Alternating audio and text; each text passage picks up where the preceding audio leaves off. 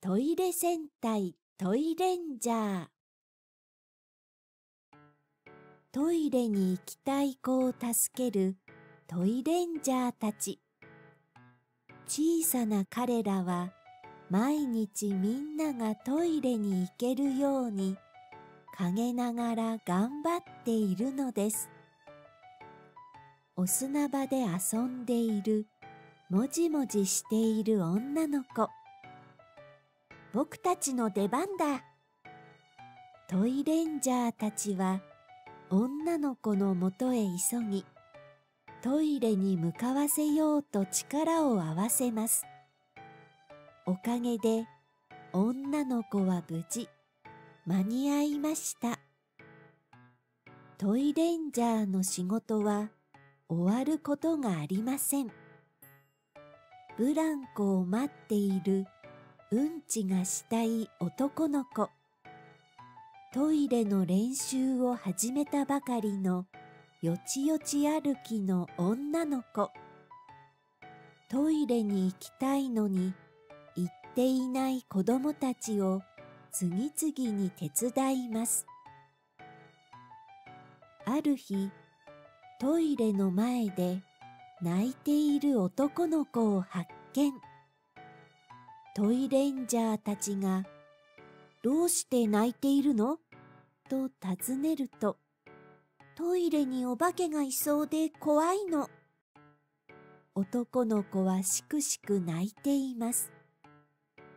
トイレンジャーたちが慰めたり、勇気づけたり、引っ張ってみたりしても、男の子はなかなかトイレに入りません。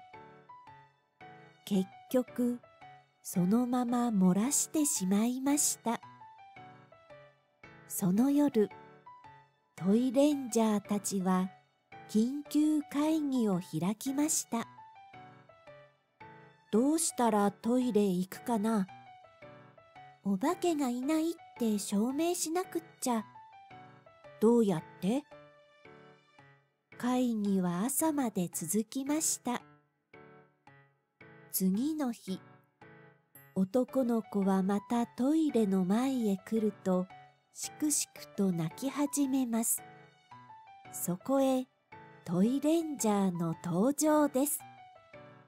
トイレ戦隊トイレンジャー参上僕らがお化けをやっつけてあげるよ赤トイレンジャーが扉を開けると中には緑レンジャーがお化けのお面をかぶってふわふわと浮いています。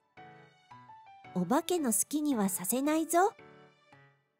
トイレンジャーたちは、お化けのお面をかぶった緑トイレンジャーをやっつけました。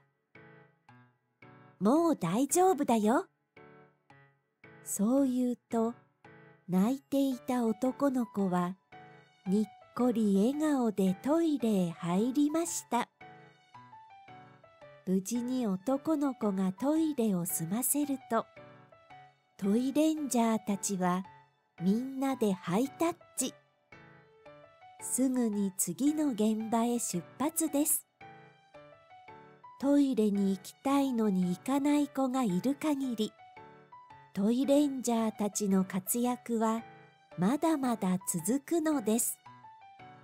おしまい。お。話は面白かったぶ？チューブとお友達になってくれたら絵本のプレゼントとかお知らせを送るぶ。動画の説明欄からお友達になってぶ？これからも楽しい絵本をたくさん作るからグッドボタンとャンネル登録もよろしくぶ